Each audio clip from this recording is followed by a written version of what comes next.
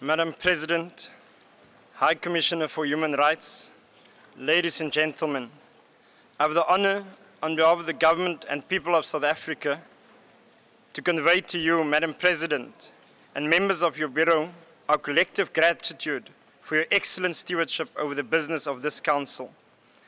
But let me also immediately thank all those over the last week that, in fact, heard about um, that President Nelson Mandela were not too well. I can safely say that your prayers has helped that Nelson Mandela, in fact, has been released from hospital over the last two days. On the 8th of January this year, the African National Congress, the ruling party of my government, turned 100 years old, making it the oldest liberation movement in Africa. At the core of this struggle for many decades, being our people's right to choose their own destiny as a united, non-racial, non-sexist society.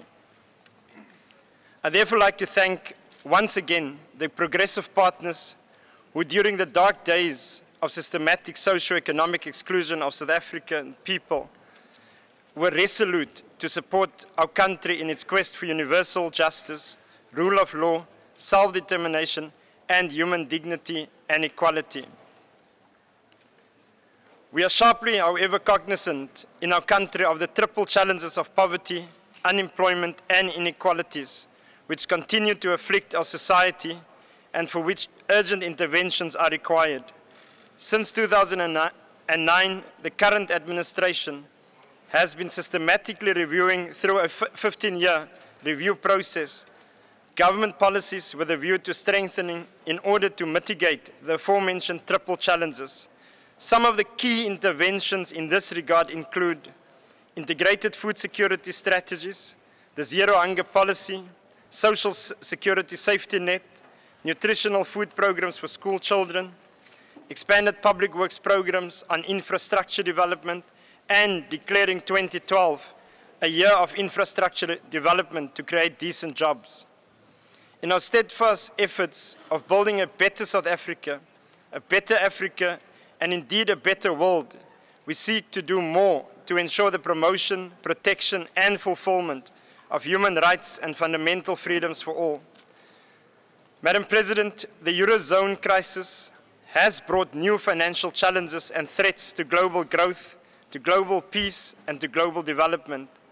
We face the prospect of declines in global trade, falling industrial demand, delays in investment, liquidation of business, and stressed financial institutions. This time, with the added risk that fiscal austerity in some parts of the world, which will extend the slowdown and deepen the crisis. The crisis currently reflected in the Eurozone is having negative effects on the global economy, including our own.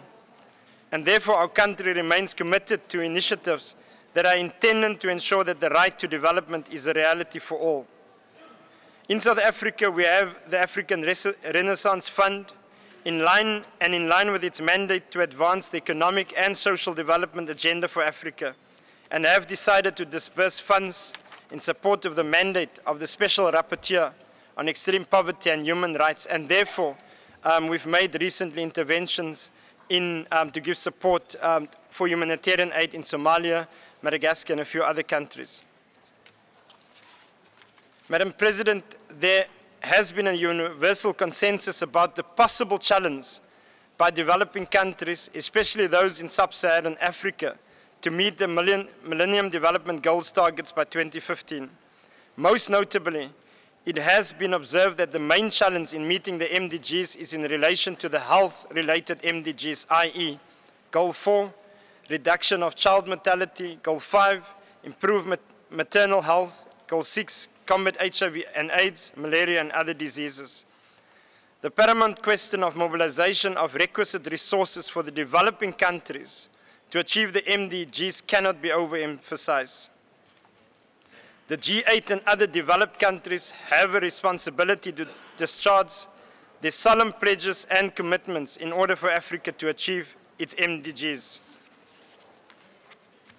My country hosted the 17th conference of the parties to the United Nations Framework Convention of Climate Change and the seventh session of the Conference of the Parties serving as the meeting of the parties to the Kyoto Protocol in Durban from the 28th November till the 9th of December 2011. Africa and other small island states are under heavy pressure from climate stress due to, amongst others, current low adaptation capacity, making them highly vulnerable to the impact of climate changes. Unless this is effectively dealt with, climate change will have a dramatic impact on the realization of fundamental human rights and indeed reverse the progress that has been made so far towards the, MDGs. The outcome of this conference include an agreement to implement the package to support developing nations. This means that urgent support will be available for the developing world, especially for the poorest and most vulnerable to adapt to climate change. Madam President, the MDGs recognize the need to promote gender equality and empower women to participate in all facets of economic and social life with the aim of achieving sustainable development. Climate change poses a significant challenge to the achievement of sustainable development for the poor, especially rural poor, and especially women, who will suffer disproportionately from its impact. It is therefore critical that more is done to mobilize and empower our women to address global environmental challenges such as climate change. Madam President, the commemoration of the 10th anniversary of the Durban Declaration and Programme of Action adopted at the 201 World Conference Against Racism was indeed a historic event for the international community to recommit itself to the effective and full implementation of this milestone. And let me therefore say that we were quite disappointed that there were some countries that effectively paid lip service over the last 10 years to the implementation of that particular declaration. Let me reiterate that the issue of political will remains at the core of this thematic area. As you may be aware, South Africa attached great importance to the issue of the elimination of racial discrimination in all its forms and manifestations. It therefore is against this background that my government has committed to hosting the African Diaspora Summit later this year, which will bring the international community together to galvanize support for developing the agenda for the promotion and the protection of the rights of people of African descent. Madam President, my government is working currently on the National Trans Traditional Affairs Bill, which makes provision for the recognition of the First Nation, the Khoi and the San communities, their leadership and their structures. It is important to remember that the Khoi and the San people, who are indigenous to South Africa, were one of the most brutalized. As a community, their language and identity was undermined to an extent that the entire community was nearly extinct. This, therefore, this legislative process is an example that seeks to substantively and progressively address the legacy of colonialism and apartheid. South Africa is committed to the process of strengthening protection mechanisms for victims of violence based on sexual orientation and gender identity within international law. We therefore look forward to engaging with a panel discussion on the subject on the 7th of March and the outcomes thereof. Furthermore, South Africa is undertaking a number of domestic processes to protect victims from violence based on sexual orientation and gender identity. Madam President, the events which are collectively known as the Arab Spring are some of the vivid reminders of how deep-seated are the challenges envisioned by the architects of this august body.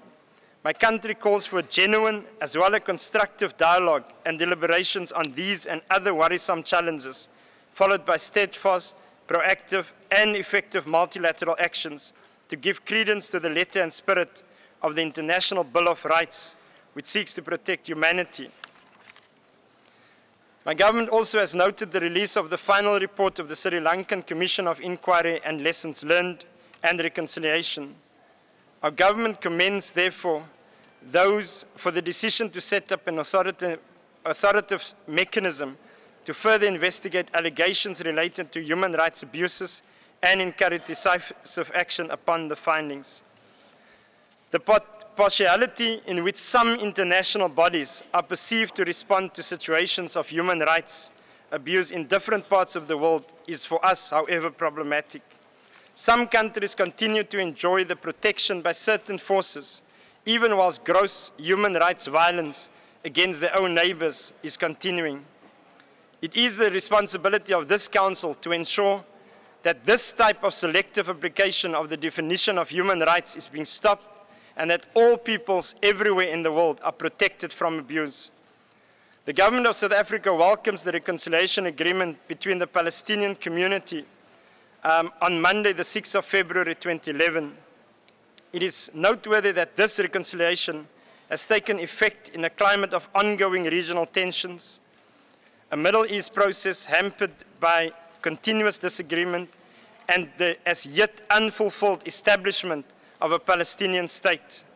South Africa congratulates the two parties and will support all attempts towards democracy, peace, stability, the advancements of human rights and human dignity in their society. We remain deeply concerned about the political, security, socio-economic and humanitarian situation in Syria that continues to escalate. This despite calls from the international community for the Syrian government and the armed opposition to, remain, to refrain from the violence and settle the difference in a peaceful manner. South Africa believes that the efforts of the League of Arab States should be supported and given the necessary political space to find a solution to the Syrian crisis. South Africa therefore supports the effort of the League of Arab States to facilitate a Syrian-led political process as stated in the resolution. In conclusion, I would like to reaffirm my country's support of the work of the Council, its effective functioning, as well as the fulfillment of its mandate. I thank you.